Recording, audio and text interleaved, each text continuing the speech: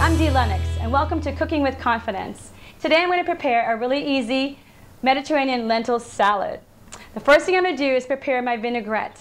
All right, so I'm going to start out with olive oil. I like to use extra virgin olive oil. I'm going to put a red wine vinegar.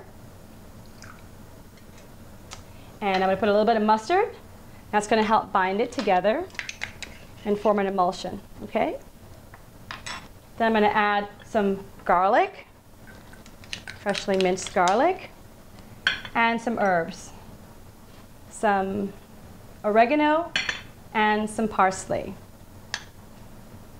And a little bit of salt and a little bit of black pepper.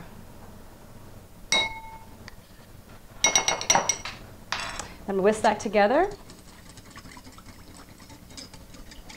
And that is going to be my vinaigrette for my lentil salad.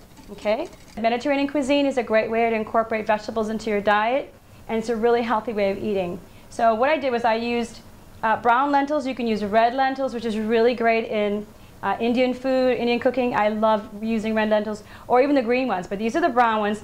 I, and see how they are? They're like grainy. They're dried, and you have to hydrate them, so you have to cook them. So I cook them about, about 30 minutes. And what I did was I took some bacon, and I rendered out the fat.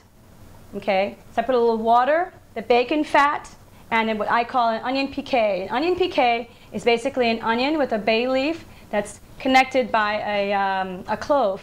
So you just stick the clove right in there and you cook it together with that. And what happens as you're cooking your lentils, it's going to draw all that flavor out. It's going to make a really flavorful lentil. So that's what I'm going to do now. I'm going to take out my onion piqué that I cooked. And this is my cooked lentils here. I'm combining it in my bowl. Faba beans, they come in a pod, but these I bought frozen because it was really easier than having to take the bean, the piece, the inside bean outside of the pod. That was easy.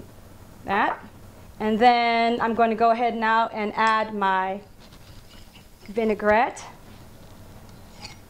Okay. How delicious and easy was that? And then what I'm going to do at the end is I'm going to just put a little bit of those bacon lardons. Remember that bacon that I had in the beginning that I rendered all the fat out of and put a little bacon on top because I love bacon. And bacon in moderation is fine.